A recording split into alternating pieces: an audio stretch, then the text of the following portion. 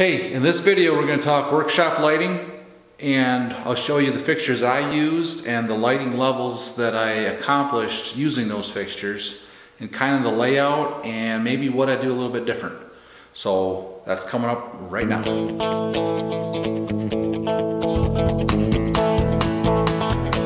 I had my local wholesale electrical supply house do a, um, a lighting analysis for this space to see what kind of fixtures and how many I would need. And they recommended eight fixtures at 3200 lumens uh, for my 10 foot high ceiling and with a with gray walls, gray ceiling. Um, to get, I think they figured it to be about 50 foot candles. So that's what I went with. Um, except I did have a little bit of a hiccup. You can see I got that one little tiny round light up there. That's above the above the loft. So that other one doesn't really count, but then I did add one underneath. You'll see that, how I did that there coming up. I'll show you these fixtures that I installed, the specs on them, um, and then I'll show you, I use the light meter at the end of the video uh, to see the actual lighting levels. Now, the recommendation for um, a workshop area is somewhere between 30 and 70 foot candles and that is from the Architectural Toolbox website. Uh, I'll leave a link for that in the description. And also there's another one, the Engineering Toolbox, that also has some good information on lighting levels. So I'm in the process of installing these lights in the shop, and the ones I'm using are from Satco.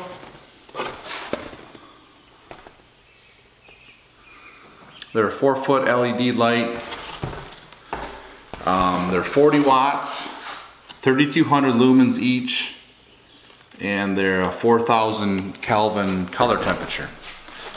So they're not real uh, blue or what they call cool white. They're kind of an in-between. Uh, normally I prefer like a warm white in, uh, you know, maybe in the house, in the living room, something like that, or the bedroom. But out here in the shop, I think a little bit a little bit uh, whiter light would be better. So that's why I went with the 4000 Kelvins. So these fixtures are about 30 bucks a piece and I'm putting seven of them here in the shop. And when we're done here, I'll show you how, how bright it gets. So I installed uh, octagon boxes when I did my rough-in and they fit just fine over top of an octagon box. But the, the screws I got here, the stock screws from the box, a little too short. The box sits, sits back just a little bit. So in the fixture box comes a little pack of hardware. So it comes with two longer 832 screws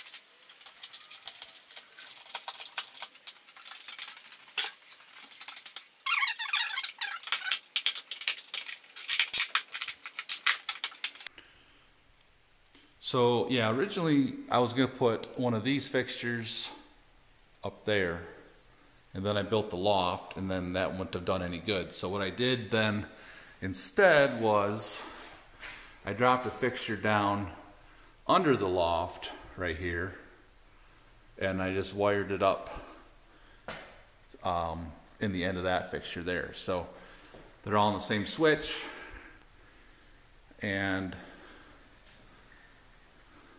we look at, let's say a work surface, you know, I think it's pretty bright, but I'll double check this with the foot candle meter later. If I have to, like maybe over here in this corner, I'm gonna have cabinets on this wall here, overhead cabinets. So I could put an under cabinet light there if need be. And then same thing down in that far corner, there'll be cabinets up there so I can put under cabinet light. But right here in the center is like where the table saw will be. And I think it's, I think it's got quite a bit of light. So probably more than I've ever really had in any of my other shops. So to me, it'll probably be plenty. All right, I got the Greenlee light meter here. Um, take some readings in the shop to see how well the lighting is compared to uh, foot candles. So I'm gonna take these readings right at the bench top level. I got almost 31. Now I'm in your shadow a little bit. Yeah. 32, 33. Go over here towards the radial arm saw, up to 33. Over here, that's where the table saw would be. Out in the center, I'm at over 50.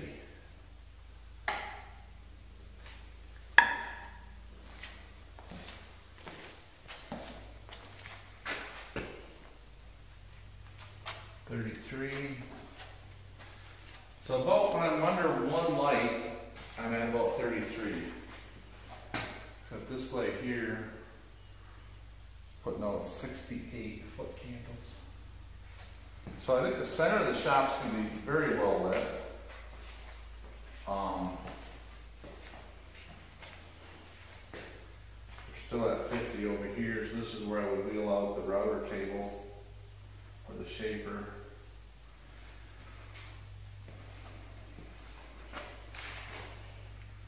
So I do,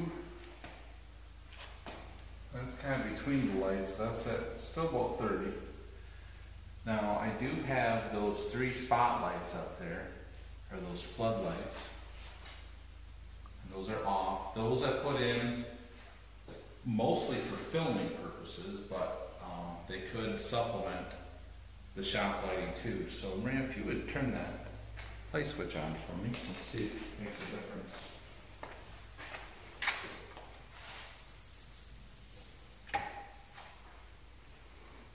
Yeah, it's on top of foot candle or so. But that's on the flat, if I turn it up.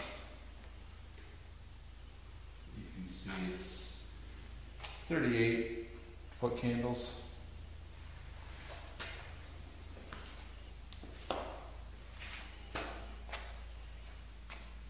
Overall, I'm really happy with the amount of lighting levels I got. Uh, 33 to 50 some, that's that's pretty good. Um, the only thing is, I, I think along my workbench, along this wall here, I may desire a little bit more lighting there, especially over my radial arm saw when I'm trying to uh, cut, you know, real precise um, measurements there. So I might add a fixture right up here above the bench and just down there above the bench two more of these same type of fixtures and that'll make it really bright right there. Either that or possibly I'm gonna have cabinets above the bench on each end. Um, I could put under cabinet lights there. But that doesn't really solve my problem of a little bit more lighting right above there. So um, more to come on that. I'll do another video later when I get the final lighting all completely finished. And then the other thing I wanted to point out is I do also have these three can lights I put in and they have um, a movable floodlight in them. I'll turn them on right here. So I did, I mostly did that for when I'm filming in here to add a little bit more light um, on me as I'm talking and filming and stuff like that. But they actually do help out too along that bench. So, so I think what I'm gonna wait and just kind of get the shop ready to go, start using it and see uh, how, how it works from there. And if I do need to add more, I'll add more. But I would like to do that before I insulate up there. Otherwise it's gonna get a little more difficult. So now would be the time to add them if I was gonna add them before I insulate them. Hey, thanks for watching the video. If you wanna see some more in this playlist, I'll put them right up here in this card. And a video that YouTube thinks you wanna see is gonna be down here. So thanks, and I'll see you in the next one. Hey, subscribe if you would too, please. Thanks.